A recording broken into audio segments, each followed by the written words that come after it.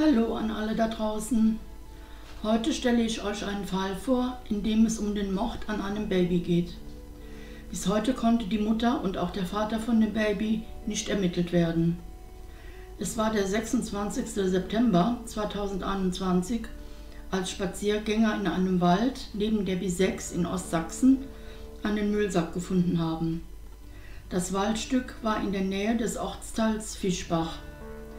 Als die Spaziergänger den Müllsack öffneten, sahen sie die Knochen von einem Baby.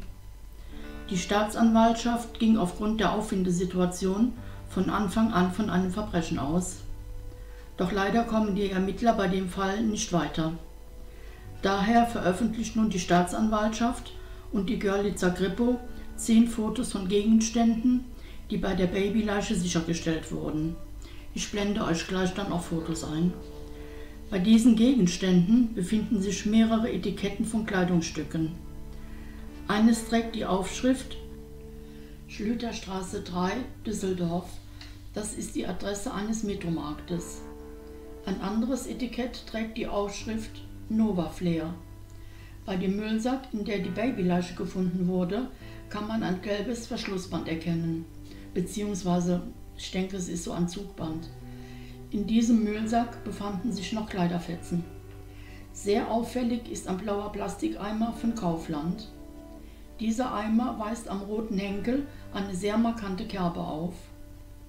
Auf den Fotos sind auch Kunststoffklammern und Textilreste zu sehen. Diese Textilreste waren sehr wahrscheinlich mal ein Handtuch oder Waschlappen. Die Polizei hat dazu folgende Fragen. Wem sind die Gegenstände im möglichen Zusammenhang mit der Babyleiche bei Arnsdorf aufgefallen? Wer kann etwas zu den Textilien oder Etiketten sagen?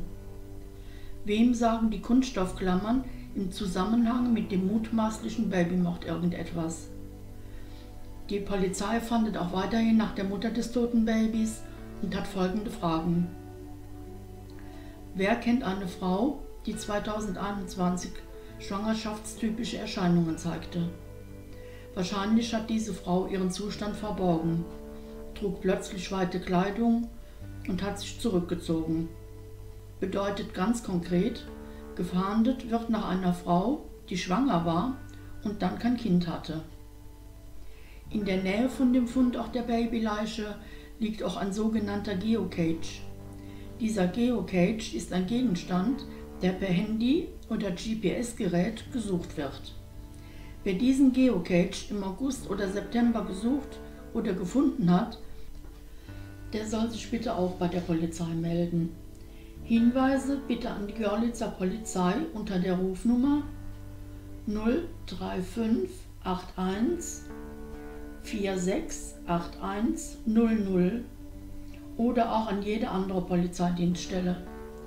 Bitte helft alle mit, damit der Fall aufgeklärt werden kann und das kleine Wesen doch noch einen Namen bekommt. Für heute sind wir auch am Ende angelangt.